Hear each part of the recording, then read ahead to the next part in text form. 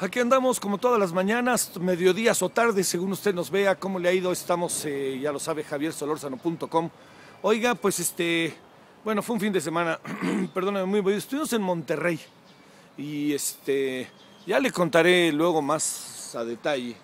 Eh, estuvimos en Monterrey, en el TEC, y evidentemente los, los, eh, los estudiantes del TEC con los que uno puede conversar, pues son muy conscientes de lo que anda pasando, ¿eh? son muy conscientes de lo que está sucediendo allá en su, en su ciudad y en el TEC. El TEC ha vivido muy lamentablemente dos momentos, varios, ¿no? pero dos momentos recientes que lo que han generado ha sido una enorme preocupación por parte de los estudiantes y en general de la comunidad. Uno ya lo sabe, este, en una balacera un viernes en la noche se metieron y mataron a dos estudiantes. Es muy impresionante, ¿eh? le confieso, los que conocen el TEC lo sabrán, es muy impresionante entrar en esa casa, en esa casa de estudios y cuando uno entra ver ahí una placa dedicada a estos dos jóvenes que pues, el peor momento en el peor lugar, ya sabe, todo les resultó adverso.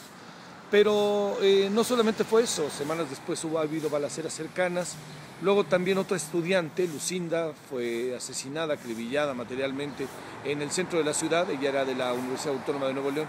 Entonces se vive un clima en donde, si de por sí hay un clima muy enrarecido, con cosas que pasan, con este, balaceras aquí allá y acullá, cuando de repente se toca la zona más sensible de una sociedad, en buena medida, ¿no? que son los estudiantes, los estudiantes eh, y todo el ámbito que ellos llevan, es una comunidad grande, la del TEC es una comunidad muy grande, la de la Universidad Autónoma de Nuevo León, pero aquí cuando digo eso, no solamente son ellos, son sus familias, sus amigos, y además es la mirada hacia la autoridad incapaz de resolver el problema, se ha de imaginar lo que puede ir causando en el ánimo de los regios y de las regias.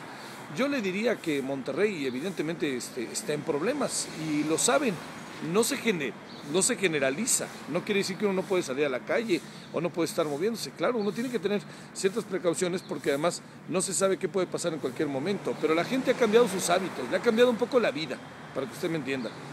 Y se le ha cambiado la gente a sí misma, la gente tiene cuidado, ¿no? Entonces, si antes iban a cenar, por ejemplo, los jueves o los viernes, pues ahora tienen cuidado, o si se van, pues mejor se quedan en sus casas.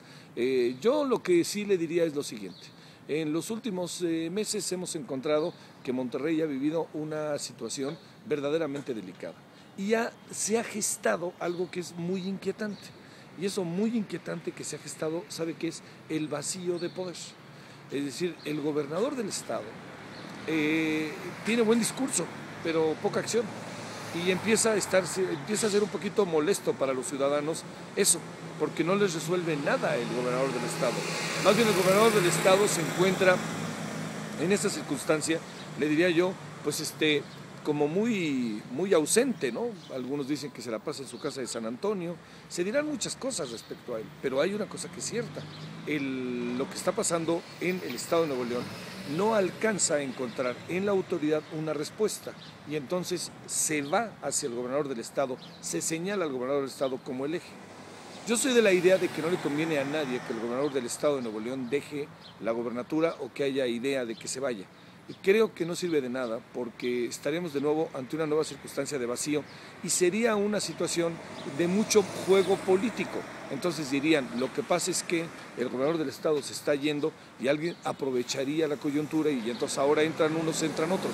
Yo creo que al contrario, yo creo que el gobernador del estado por lo pronto lo que tiene que hacer es salir de donde se encuentra, darse un giro, cambiar totalmente este espacio en donde él está y dedicarse fundamentalmente a gobernar y a actuar y a utilizar, en el mejor sentido de la palabra, a la sociedad como parte de su acción de gobierno. No verla por allá, no, está aquí y aquí yo la apoyo y aquí está conmigo y aquí yo, yo en ella me baso, pero sobre todo me baso en mi acción de gobierno, en mi capacidad de gobierno, en lo que yo tengo para poder gobernar. Yo no veo fácil eh, la solución, evidentemente, porque pues, es un asunto nacional que tiene tintes, lo sabemos, multilaterales. Pero sí veo que el gobierno del Estado tiene que hacer algo pronto porque la desesperación, el enojo, el encono de la sociedad regia está a la vista. Y el gobernador del estado, que tan, que tan compleja fue la elección, pero que la logró ganar y que la ganó después de una eh, desigual gestión de Natividad González Parás del PRI, el, el PRI se mantuvo en el poder, no puede el gobernador del estado de perder la oportunidad de ir directo y atacar los problemas y resolver los problemas en función de la sociedad regia.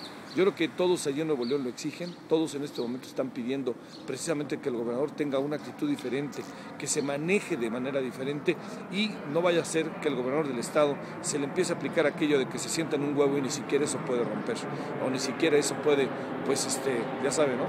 Destapar, por decirlo de alguna manera. Yo creo que es un momento delicado para la sociedad regia y la sociedad regia sabe que va a salir de esta. La sociedad regia no está echada para atrás, está inquieta pero necesita también caminos de movilización para poder salir del, trance, del trance en que en este momento está viviendo. Así que desde aquí muchos saludos a todos los regios y las regias. Sé que le están batallando y sé que están inquietos. Muchos saludos particularmente a los estudiantes del TEC, que creo hoy más que nunca hay que estar con ellos. Y hoy más que nunca este país tiene que estar con las regias y los regios. Que sepan que somos una nación y que sabemos que todos estamos en problemas, pero en este momento algunos están más en problemas que otros. Tenemos que ir allá, estar con ellos y ellos, estoy cierto, son mucho más capaces de resolver esos problemas de los que hasta ahorita, por lo menos en el papel y en los hechos, ha demostrado el gobierno del Estado. Bueno, pásela bien, oiga, aquí andaremos. Hay muchas cosas, ¿eh? hoy se cumple un año de la toma de la Compañía de Luz y Fuerza del Centro. Ya más adelante le estaremos contando sobre ello. Y también hay muchas otras cosas por ahí. Esto de las alianzas y el PRD y su inminencia de rompimiento, yo sí veo difícil que no pase. Le mando saludos. Buenos días, buenas tardes, buenas noches, según nos vea. Pásela bien. Buena semana. Buena semana, semana, le desea su servidor Javier Solórzano.com. Adiós.